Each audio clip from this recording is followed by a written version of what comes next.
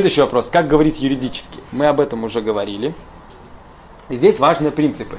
Первое. Предупреждать. То есть вы их не просто заявляете, вы их предупреждаете. Предупреждение это говорит о том, что могут наступить последствия. Что нарушение ваших прав карается по закону страны, по международным законам и законам публичной аферы. То есть то, о чем вы заявляете. То есть вы заявляете, если он не согласен, если он не заключил с вами договор публичной оферты, значит вообще на, на вас никакие права не распространяются со, стороны другого человека. Только если вы нарушите его права. Разрешено все, что не запрещено законом в нашем принципе. Если вам что-то заявляют, вы говорите, разрешено все, что не запрещено законом. Спрашивайте, где в каком законе статье запрещено. А если говорят, что таких законов нет, то пусть дадут бумагу, что таких, закон, что таким законом, таких законов не существует.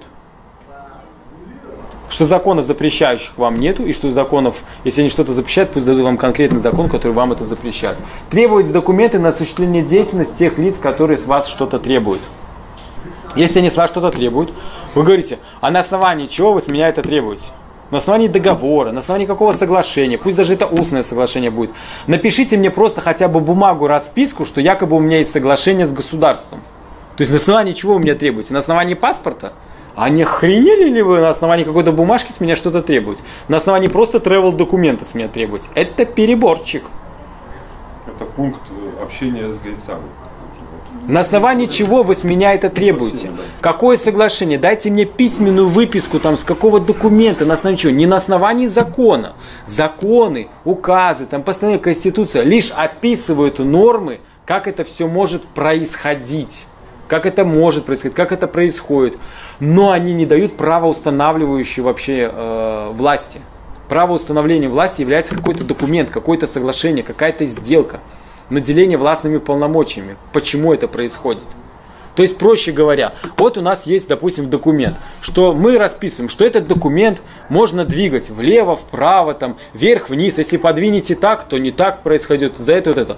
А потом говорит, а говорит, а вы можете двигать это? Да, граждане могут двигать этот документ. Но возникает вопрос, на основании чего? То есть кто наделил вас властными этими полномочиями двигать? Государство вам разрешило все-таки двигать это или нет? А нам, получается, государство не наделило нас нашими правами. То есть мы ему отдали все права практически. А государство нам в ответ не написало ни в паспорте, нигде, что у нас какие права есть и что мы этими правами можем пользоваться. У нас в паспорте нигде не написано, что мы можем полностью осуществлять свои права. В законах написано, но в правоустанавливающем документе, на который они ссылаются, это не написано. И ни в одном другом документе этого нету. То есть возникает вопрос, ты скажешь, а я хочу как хочу, так и двигаю. А другой скажет, подожди, а что ты двигаешь как хочешь?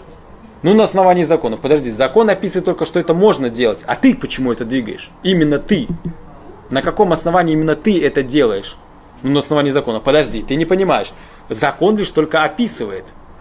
Они нам пытаются сказать, подождите, вот закон, в нем написано, что я, гражданин может делать. Подожди, гражданин это понятно, но именно ты почему? Там написано в законе, что именно ты, Николай Валерьевич Буров, это может делать. Человек, там. там написано, что каждый гражданин это может делать, э, независимо от определения его личности.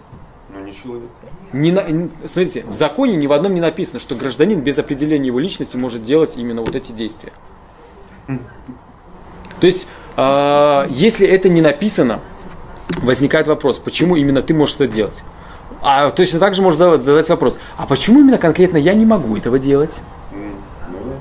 И тогда возникает право, и тогда, и тогда возникает э, правоустанавливающая основа под названием суверен. То есть вот эта вот проволочка юридическая, как она есть, если, тонкость. Если ты начинаешь делать, как это ты делаешь, появляются все сразу э, вытекающие отсюда права, обязанности, ответственность, твой статус и все остальное. Всех начинают волосы Это вот очень сложно порой это объяснить, перевести на русский язык. Я пытаюсь это сделать, чтобы объяснить, но вижу, что иногда сложновато. Смотрите, э, при общении с теми же самыми э, госорганами, чиновниками, вы должны требовать документы на осуществление действий, потом требовать договор, достоверный, не настоящий, там, а, Э, любой, в принципе, вы должны потребовать договор. Потом вы просто можете по гражданскому праву оспорить его. Просто они должны вам что-то предоставить. Пусть это даже будет бумага с выпиской о том, что да, есть типа соглашение, оно базируется на основе закона там какого-то, и типа устанавливает ваши права, что оно вас наделило этими правами. Но если это описывает просто статьи Конституции, вы говорите, подождите, зачем вы мне просто переписываете законодательные акты?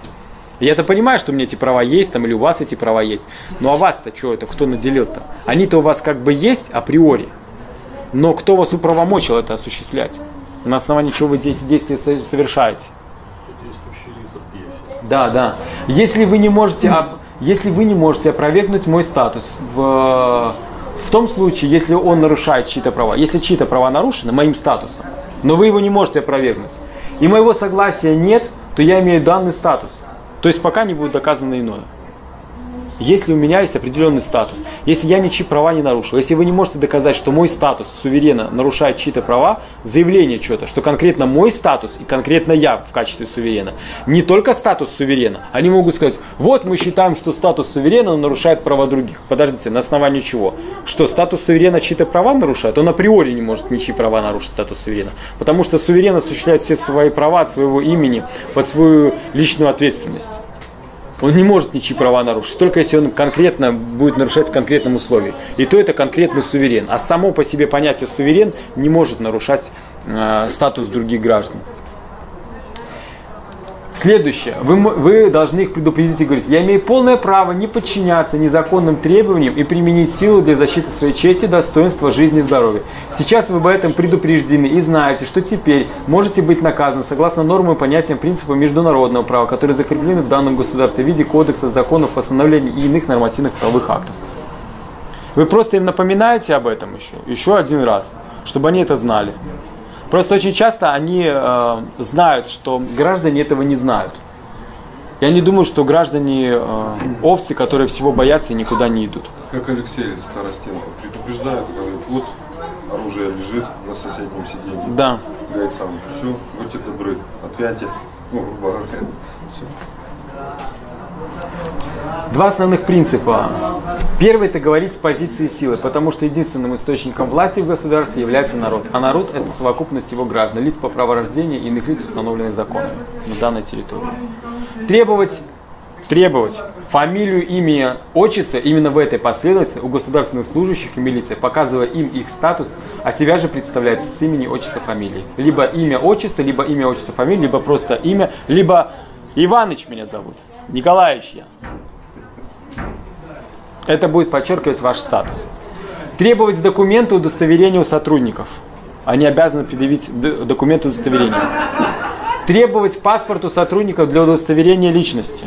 Соответствует ли данный документ данной личности. Если у вас есть сомнения, значит вы имеете право потребовать документы для удостоверения личности. Ну, фотография не похожа, что-то, ну, не тот. А, я считаю, что вы, например, может быть, вообще не гражданин. Что это вообще за документ? Может быть, документ настоящий, а вы нет. Паспорт покажите, что он соответствует этому.